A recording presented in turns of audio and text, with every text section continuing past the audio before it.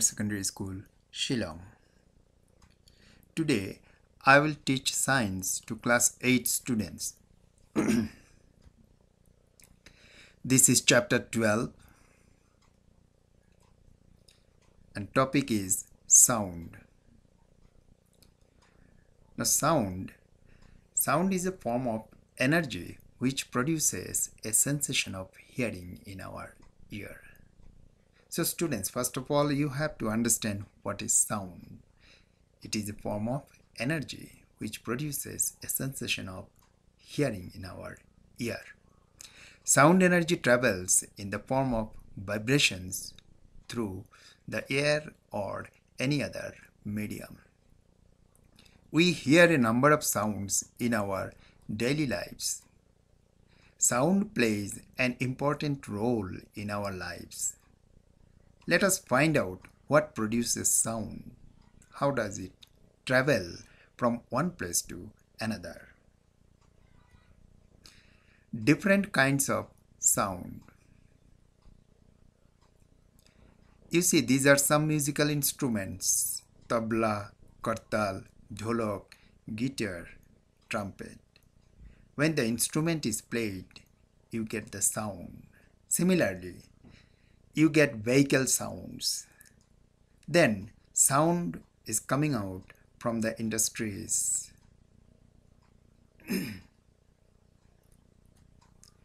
now, sound is produced by vibrations. How we will understand? That is why we need to follow this activity. This is activity 1. Take a ruler and hold one end of it firmly on a table. Flick the other free end. You will notice the free end vibrating and producing a sound. Once it stops vibrating, no sound is produced. You can do this activity at home. So any utensil or any suppose plate or dish like steel dish if you beat sound will be produced. And as long as vibration is there you will get sound. Once vibration is stopped sound is also stopped. This is activity 2 take a rubber band and two pencils. Fix the rubber band with the help of pencil box and the two pencils shown in the figure. Now plug the rubber band in the center with your finger. What do you observe? Do you hear any sound? Yes, you will hear a sound and will see the rubber band moving rapidly to and fro. this is activity 3. Take about 8 or more balls or tumblers, fill them with increasing level of water. Ensure that the increase is gradual from one end to the other end. With the help of a pencil strike uh, each ball or tumbler gently in quick succession, means in a quick gap. You will hear sound of a jaltarang. Very interesting. Now, question is how sound is produced in humans. All human beings have a voice box in the region around the throat connected at the top of the windpipe to produce sounds. It is also known as larynx. It is like a sound producing instrument or machine. Two muscle tissues called vocal cords are stretched across the larynx such that they leave a narrow slit as shown in the figure between them for the passage of air. The vocal cords are set into vibrations when the air from the lungs is forced through the slit. The vibrating vocal cords produce the human voice. Sound needs a medium for propagation. So here, sound cannot travel in vacuum. because there are virtually no molecules. So it needs a medium to travel. There are three mediums. One is solid, one is liquid, and one is gas. Sound can travel through any solid like metal, wood, string, glass, etc. Sound travels faster in solids and liquids than in gases. Vibrating objects produce sound which is carried in all directions in a medium. As the sound wave propagate, the molecules of the medium do not move from one point to another. They only vibrate about a mean position. So what is a mean position? That means it is in a rest position. The mean position. Suppose you are playing in a swing in the park. Before starting the swing, first you have to sit. When the swing swing is in before starting, when you sit in the swing without any move, that is known as mean position. It is the effect that propagates and reaches our ears. Activity 4. Take a meter scale, hold it near your ear, let your friend tap it gently with a plastic spoon at the other end. Can you hear the sound? Yes, you will be able to hear the sound clearly. This shows that sound can travel through solids. This is activity 5. You have to follow this activity carefully if you want to uh, perform this activity at home. Carefully you have to do this activity. Take a tub filled with water. Shake a bell inside the water, taking care that the bell does not touch the body of tub. Can you hear the sound of the bell? Yes, you can hear the sound of the bell. This shows that sound can travel through liquids. This is activity 6. Look at this picture. A dog is barking. You can hear the sound. This shows that sound can travel through air. Activity 7. Take two paper cups or two small tin cans. Make a hole in the center and connect them with the help of long piece of string as shown in the figure. Hold one can or cup and ask your friend to hold another. The string must be tightly stretched. Ask your friend to whisper into the cup while you listen through the other cup. Can you hear your friend? Yes, you can hear your friend. This activity shows that sound can travel even through a string and can move faster by string that is a solid than by air or a gas. Now working of human ear. So in this picture you can see the outer ear, middle ear, inner ear, and the other parts. So, how we receive sound? We hear sound through our ears. The human ear is made up of three parts. In the first part, the outer ear, the part of this outer ear that is visible to us is called pinna. The pinna collects sound waves and directs them to the ear tube. At the end of the ear tube is the ear drum. Let us go back to the picture again. See, pinna, then eardrum. Then the eardrum is a thin membrane which vibrates when sound waves strike it and transmits the sound to the middle ear. The middle ear. The middle ear is a cavity with three important ear bones. You know the ear bone is the smallest bone in our body. These three bones are placed in such a way that they move when the eardrum vibrates and transmits the vibration to inner ear. Then the inner ear is connected to the middle ear through a small opening. The inner ear is filled with a fluid. When this fluid vibrates, it excites tiny hair in the inner ear. These hair transform the vibrations into electrical impulse, which are then transported to the brain via the auditory nerve. And this is how we hear a sound. Now, characteristics of vibrations. What is vibration? It is the to and fro motion of an object about its mean position. The three important characteristics of vibrations are its frequency, amplitude, and time period. So, to and fro motion, what do you mean by to and fro motion? When you play in a park with a swing, first you sit in the swing that is main position, then after that you go back, then you start swinging. So coming front again going back, this is known as to and fro motion.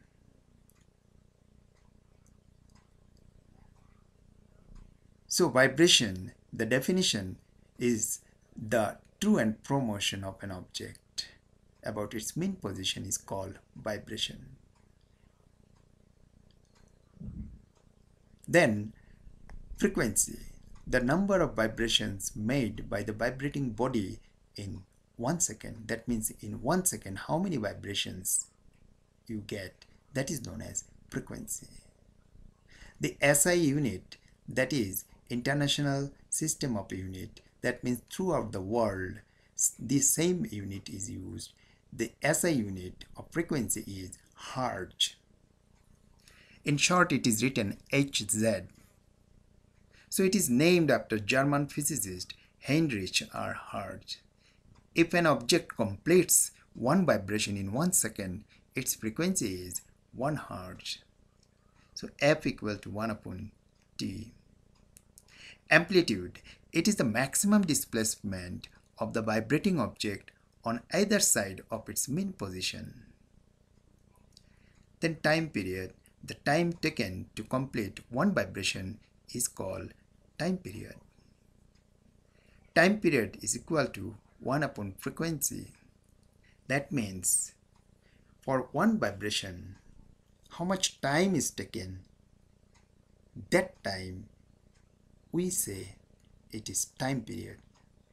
Time period is measured in second. Characteristics of sound. Sound can be characterized by the loudness, pitch and quality. So what do you mean by pitch and quality? We are coming to that part but before that let us discuss the characteristics of sound. Loudness of sound is expressed in decibel and this decibel it is the SI unit of sound energy. So students you remember it the SI unit of sound energy is decibel and in short it is written dB. You must have seen that as you move away from the source of sound the sound becomes weaker when the amplitude is large, the sound is loud.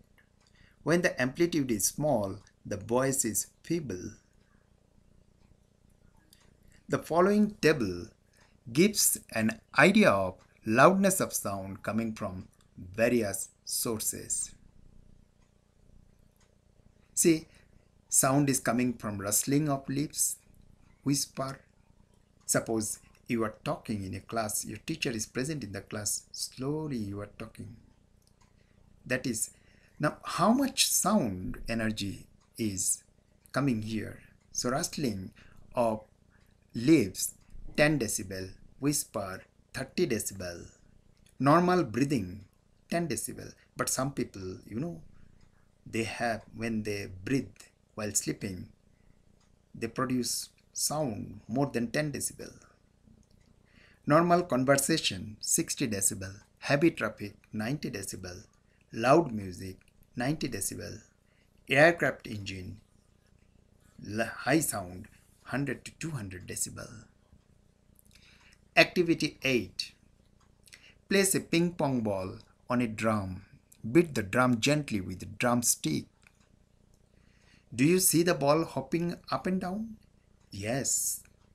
Next, beat the drum harder with the drumstick. Do you notice any difference in the jumping pattern of the ball? Yes. It will jump very fast. When the drum produces louder sound, the ball jumps higher due to increased amplitude of the vibration. Therefore, drum when it when hit harder produces louder sound. Now let us come to pitch. The shrillness of voice is called its pitch. Very simple. The shrillness of voice. Pitch is determined by frequency. If the frequency of vibration is high, the sound is shrill and has a higher pitch. Lower the frequency of a sound, lower is its pitch. You know, the sound quality between men and women, there is a difference. Women generally have a high pitched voice and men have low pitched voice. Whistle produces a sound of higher pitch compared to a drum. Now quality of a sound. The quality of a sound is that property by virtue of which two sounds of the same pitch and loudness produced by two different musical instruments or people can be distinguished. That is the quality of sound. Audible and inaudible sound. The human ear can detect sounds having frequencies between 20 Hz to 20,000 Hz. This is the audible range. We cannot hear sounds of frequencies less than 20 Hz and more than 20,000 Hz. Such sound are called inaudible. So less than 20 Hz, this is known as subsonic sound. And the sound in between 20 Hz to 20,000 Hz, it is sonic sound. Above 20,000 Hz, it is ultrasonic sound. And this ultrasonic sound, see, very interesting, dogs can hear ultrasonic sounds. Now, noise and music. Sound which is pleasing to the ear is called musical sound. For example, harmonium, piano, sitar, tabla, violin, flute, guitar, etc. It is in the range of 10 decibel to 30 decibel. Unpleasant discomfort causing sound is called noise. Example blowing of horns, machines in a factory, automobiles, noise at construction site, etc. causing sound is known as noise. Now musical instruments. There are three main types of musical instruments. String instruments, wind instruments, percussion instruments. String instruments, violin, guitar and sitar. Sound is produced by the vibrating string. Wind instruments, trumpet and flute. Sound is produced by the vibrating column of air. Percussion instruments, drum, tabla and dholak. Sound is produced by vibration of the stretched membrane. Now, noise pollution. Sustained presence of harmful, unwanted or annoying noise in the environment is called noise pollution. Just like air and water pollution, noise pollution is also harmful. Major causes of noise pollution are sound of vehicles, bursting of crackers, machines, TVs, radios, music system played at high volume loudspeaker, etc. You can see the picture. Harmful effects of noise pollution Conversation becomes difficult if there is too much noise around. You know it. Noisy environment causes headache and inability to concentrate on work. Prolonged exposure to loud noise can lead to temporary or permanent impairment of hearing. This is very important for infants and old people. When the crackers are bursted, then it is very risky for them. Lack of sleep, hypertension, anxiety, etc. are some other health problems caused due to noise pollution. Now, reducing noise pollution. Noise producing industries should be set away from residential areas. Okay. Do not play loud music. Avoid use of loudspeakers. Use horn minimally. These are the steps. Installation of silencing devices in aircraft engines, automobiles, industrial machines, and home appliances. Plant trees along roads and buildings as they act as noise absorbers and cut down on sounds reaching the residents. Let us recall what we have learned now. Sound is produced by vibrating objects. In human beings, sound is produced due to vibration of vocal cord. We also learned sound cannot travel in vacuum. Sound needs a medium to travel. It can travel in solid, liquid, or gas. Sound travels faster in solids and liquids than in gases. The eardrum senses the vibration of sound. It sends signals to the brain. This is called hearing. The number of oscillations or vibrations per second is called frequency of oscillation or vibration. It is expressed in hertz. The amplitude of the vibrating body, see this is very important point, the amplitude of the vibrating body determines the loudness of sound. Higher the amplitude, louder is the sound.